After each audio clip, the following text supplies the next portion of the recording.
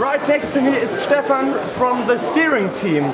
Now changing from a participant to, to the steering team means that you've got a lot of work and not so much time for, for setup and, and bring so much stuff.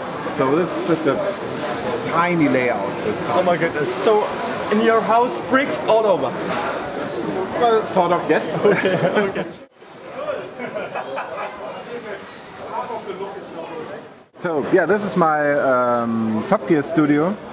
Um, you know, I'm I'm a car fan, and um, for for several years now, I'm, I'm, just building cars. And what is more obvious to to get um, a connection between cars and uh, Top Gear? So here are the three presenters with their they're talking about their their new rides. And so I'm I'm a car fan in, in general, not, not a specific one.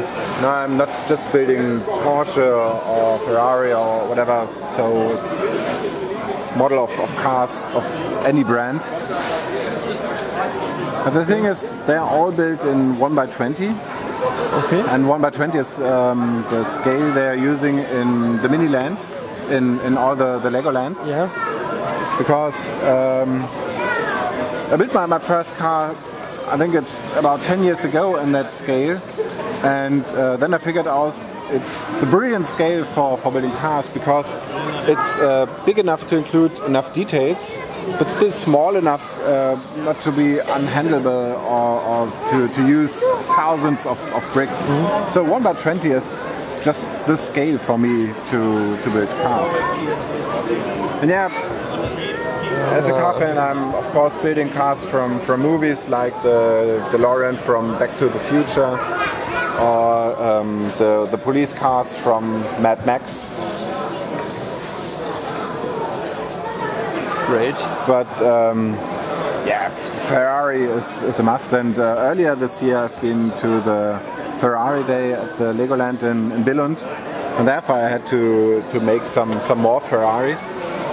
So actually, I've, i think I've got uh, more than, than 15 different models, including all the, the supercars. Okay. One very important model is um, this one. It's from uh, Olsenbanden.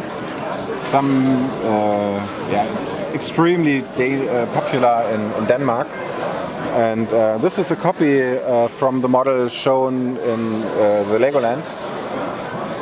And since they don't sell their models, of course, I had to uh, make several photos and um, make my, my own copy. And even that was, was challenging because you know the people at Legoland they know how to, to build cars and so I thought oh, how hard can it be but then sitting there and thinking oh, how did they fix that brick here and uh, it took quite a while. It was quite interesting even to, to make the, the copy of, of that model. thing.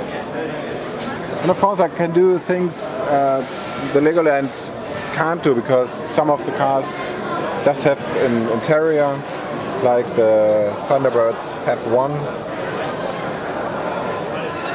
or the even more special, not really suitable for kids is that one. Don't know if the camera is able to capture that.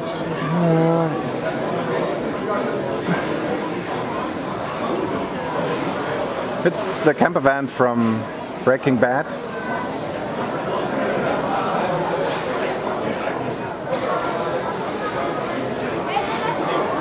Great. Yeah, and so as, as you can see, there are many different uh, brands here. Porsche, Renault, Ferrari. Which company ever built great cars? One day I will make them with Lego bricks.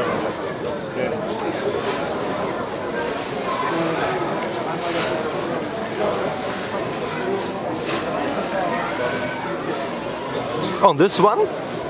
This is, oh, this oh. one is in a quite special color because that color is gone. I think for uh, for a couple of years now, and um, you you don't find all the elements in, in that color. So it's it's quite challenging to to build in, in more rare colors than it is in, in red because obviously in red you, you can find every big Lego ever made. So we see many faces, many lucky faces right here. Uh, the weekend is for everybody. It's not only for adult Lego fans.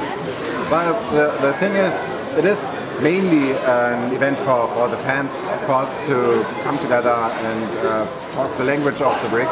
But of course, we also have visitors, or the visitors are allowed to, to join us and uh, check out the, the awesome creations. Because you know, it's always nice to, to talk to them and uh, show what we, we are doing next to the instruction put to, to the box. So Lego is still way more than uh, only the, instruction. Thank you so much for your time and uh, wait, more cards please. I will do, definitely. See you next year. Of course. Bye.